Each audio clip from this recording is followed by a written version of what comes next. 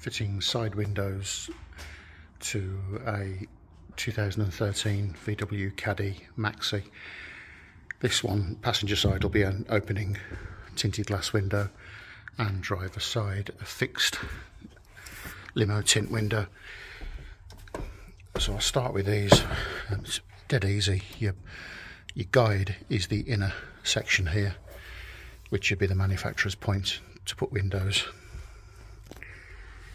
I use a metal nibbler. You've got a fixed end and that's the fixed end and a rotating end. I use this. You can keep the drill in the set position and just go around any angle. Means you can turn the drill this way if you're over here.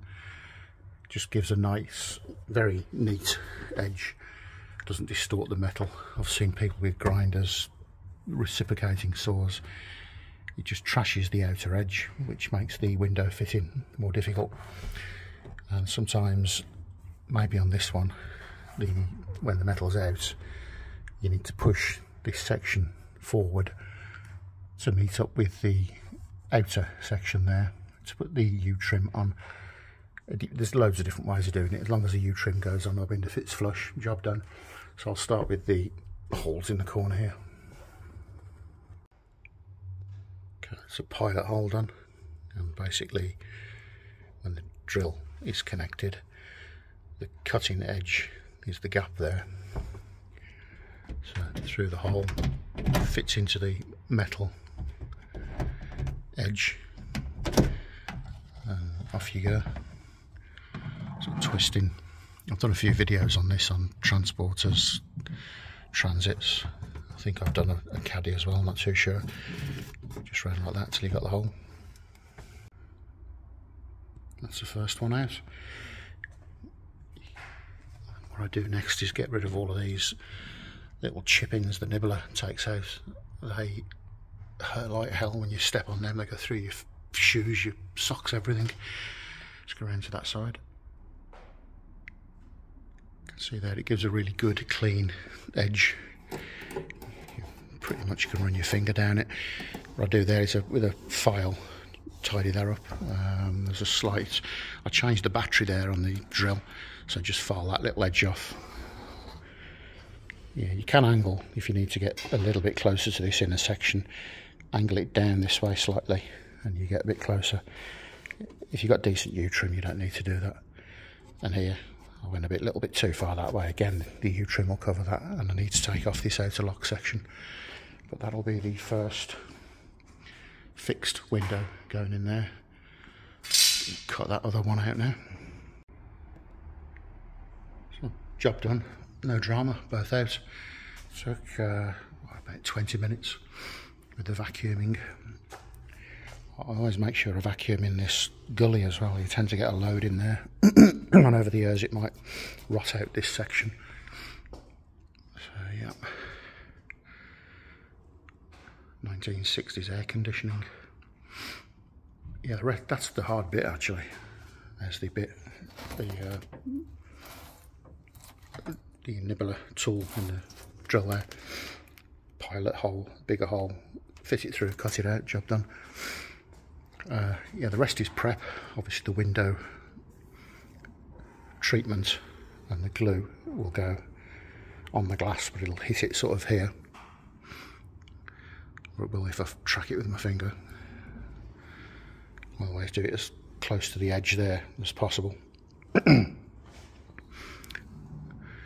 so next job, get this edge sanded, little bits off, treated, anti-rust, panel wipe, or actually fast thinners on the metalwork, get that as clean as possible, and then onto the glass, prep the glass with the I think they're alcohol strips in the uh, kit. Get the glass nice and clean, warm the glue up, put the glue on the edge of the glass, and then stick it on. This is gonna, it'll fit nice and flush in this, you can tell from the recess there. And then tape, maybe four pieces of tape just to hold the glass steady. So I'll go around the edge there now and then get onto the, get the workbench set up and get onto the glass.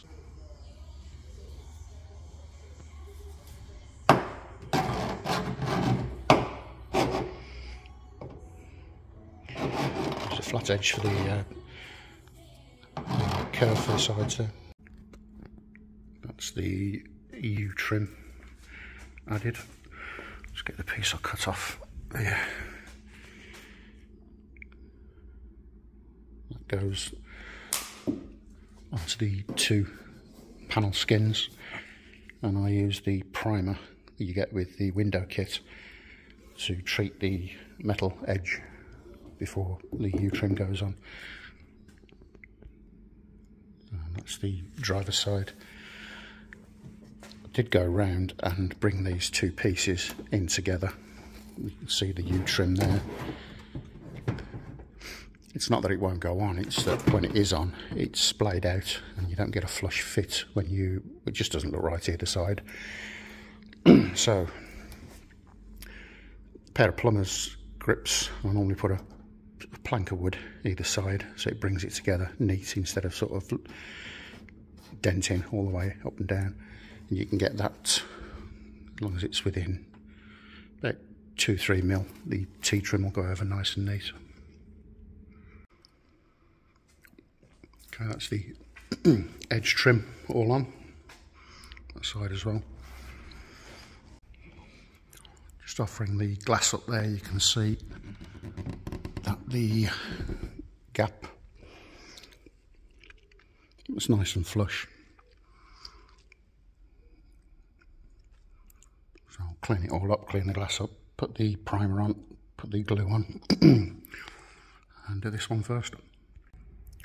So with the primer daub things, wherever they are, just go around, obviously with primer on, the edge there, and where you're going to, I go sort of about there. Do that first. And then with the uh, primer wipe, I think they're alcohol cloths. You can see here where I've handled it, all that has to come off all the way around that and then prime the glass put the glue on normally cut these down just that tiny little bit there seems to give a better nice pointed edge and as a tip with this stuff I mean I've got a tube there under my um, paint drying lamp warm it up um, if you're looking at doing it in the summer, then just leave it in the sun. But the warmer this is, I mean, you need a heavy duty one of these anyway, or better still, a battery operated gun. Can't afford one of them yet, so use this, and that comes out a lot easier. So that's around the van and the glass all primed up. Leave that to dry for a bit. That's the company I use for the kit.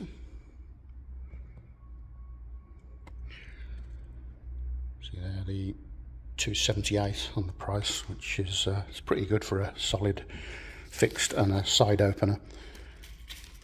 Uh, especially if you fit in it yourself, it's good value. There's two or three companies on eBay that sell this kit, as in two, two standards, two fixed or two openers or mix and match, whatever. I've used them all. I've used them for T4s, T5s, transits. Uh, I think I've done a caddy before with it. It's uh, it's all stamped up and everything there. Nice, good kit. That's the glue on. Be a bit neater with uh, a, uh, a drill. Um, the powered ones basically. So yeah, not as neat as somebody doing it for a living, but as long as it doesn't leak, all good. Okay, that's the first one in the fixed.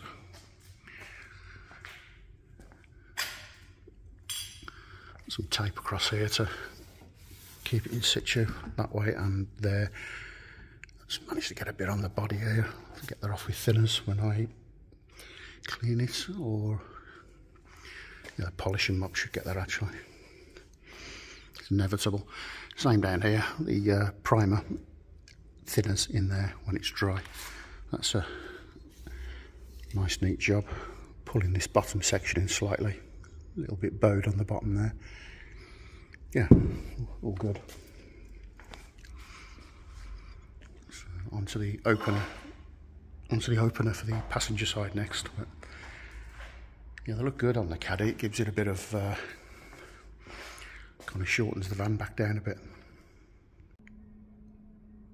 And the passenger side opener in.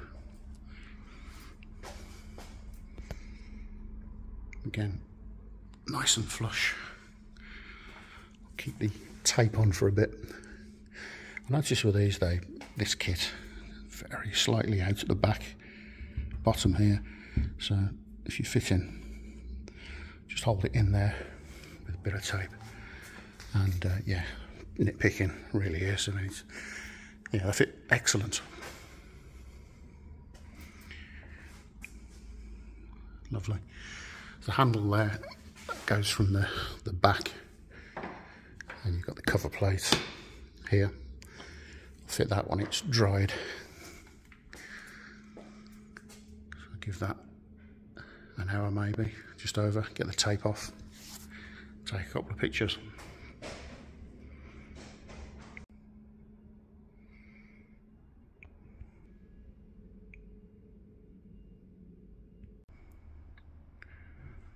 Okay, all done.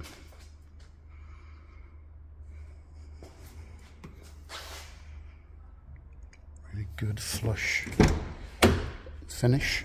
The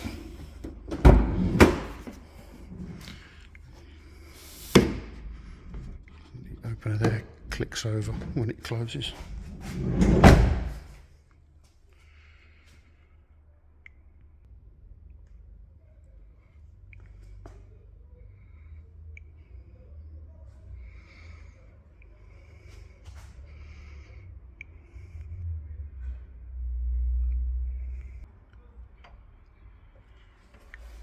It's on the inside.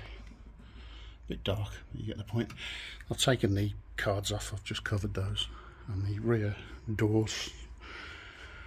Decided to take this stuff off. I'll have a go at tinting it. I've got some. Uh, normally doesn't work, so I'll get somebody to do that if I can't do it myself. And I'm just going to put this thin little edge trim, door edge trim I've got on that, which will tidy up these edges and I'll carpet up to there. So windows in a caddy. So until next time whatever you're doing or whatever you're thinking of doing